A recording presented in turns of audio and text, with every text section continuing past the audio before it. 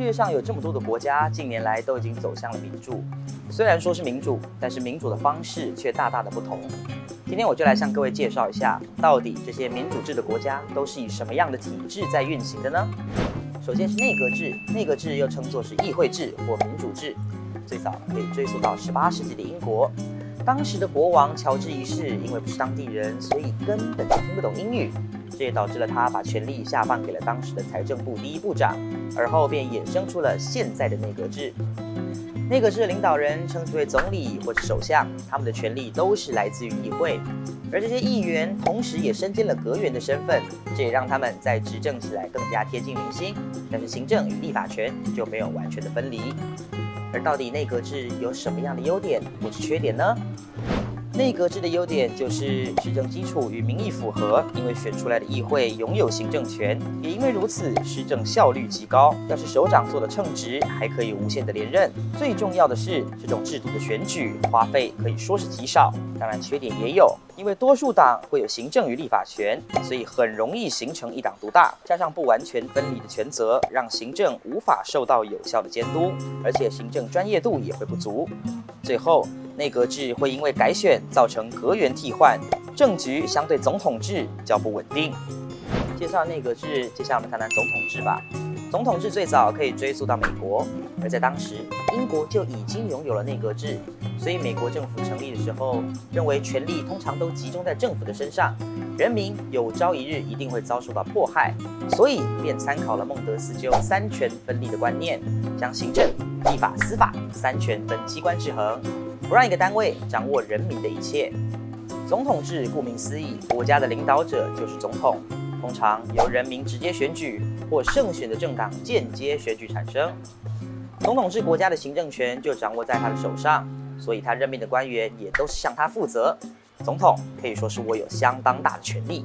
然而，从泱泱大国美国所发迹的总统制，优点就是行政权力集中在总统的身上，效率非常的好。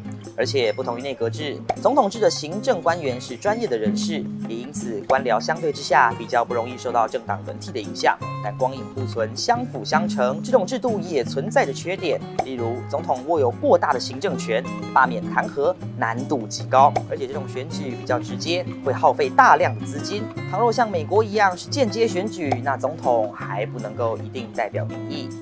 最后就要说到双手掌制了。双手掌制又称为半总统制、混合制，这种体制是综合了上述两种体制的新兴体制。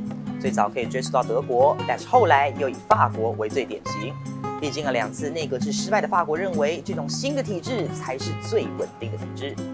双手掌制的总统通常司职于对外的事务，像是国防、外交等等；而内阁首长经总统任命，国会复决之后出任，通常负责的是国内的行政、经济等工作。双手掌制的总统通常由人民直接选举产生，所以在执政起来也更加的具有民意基础背书。他的总统的权力介于内阁制与总统制之间。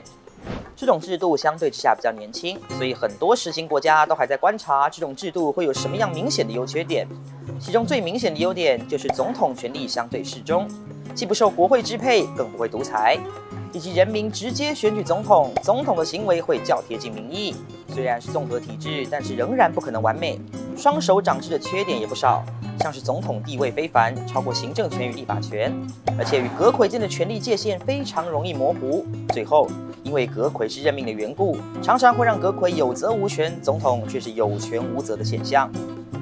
最后，我们来看看台湾。台湾是什么样的体制呢？目前看起来比较接近双手掌制。可是由于行政院长不需要经过立法院的复决同意，民意基础仅仅只有总统一人，而行政权又往往回到总统的身上，所以台湾严格说起来也不算是完全的双手掌制。台湾的行政院长平均任期非常的短暂，一任总统之内替换好几个院长已成常态，根本无法与总统达成施政默契。行政院长没有经过立法院的复决同意，就会成为总统的施政挡箭牌。双手掌制的价值就在于总统与阁魁的行政分权。